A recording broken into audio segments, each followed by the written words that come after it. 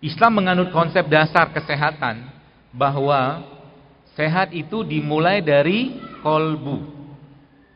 Ya, sehat itu dimulai dari kolbu. Kalau kolbunya sehat, maka sehatlah fisiknya. Kalau kolbunya bermasalah, maka bermasalahlah fisiknya. Semua penyakit fisik akan dimulai dari penyakit kolbu.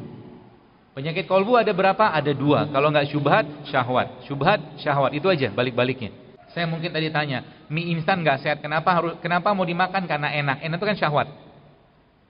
Enak itu syahwat. Dan kolbu kita, Bapak Ibu sekalian, kolbu kita itu makanannya adalah tidak makan. Jadi kalau mau fisiknya sehat, maka jangan banyak makan. Dan manusia sukanya makan. Kalau Anda atau saya jadi kasih pilihan untuk makan sama tidak makan, kita akan pilih makan.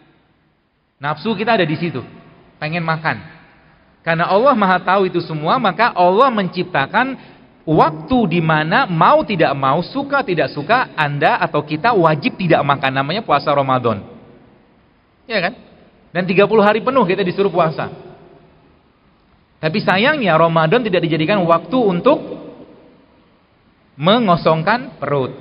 Sehingga di negeri kita Ramadan justru malah inflasinya paling tinggi. Kenapa? Berlebihan dalam urusan makanan. Kan gitu. Ramadan selesai akhirnya apa? Muncul puasa Syawal 6, 6 hari.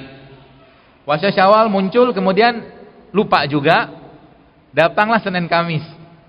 Senin Kamis Bapak sekalian lupa juga ada Allah kasih ayamul bid. Coba itu kan SOP-nya tuh lihat. Rules-nya. Kalau sekarang orang-orang barat mengenal intermittent fasting, puasa eh, apa namanya? Puasa ber, apa bersela ya. Islam itu puasanya bersela banget.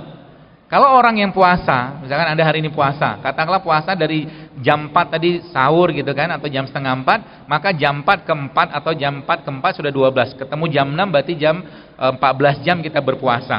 Makan sedikit di situ lalu ba'da isya tidur seperti tidurnya Nabi. Maka kita puasa dua kali dan kalau tadi puasanya 14 jam ditambah dengan badai isya katakanlah jam 8, kemudian dia e, terus lagi tidur sampai malam atau jam 1 maka dapat 6 jam atau 7 jam. 14 jam ditambah 7 jam sudah 21 jam dia berpuasa. Makanya umat Islam itu harusnya menjadi umat yang paling sehat. Ya, harusnya. Ya.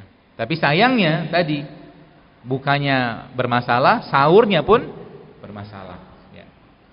Lagi-lagi kita bisa perbaiki itu semua insya Allah. Dan Allah maha pengasih penyayang buat sekalian sehingga untuk mengubah itu gampang sekali. Untuk mengubahnya itu gampang sekali. Asal mau saja.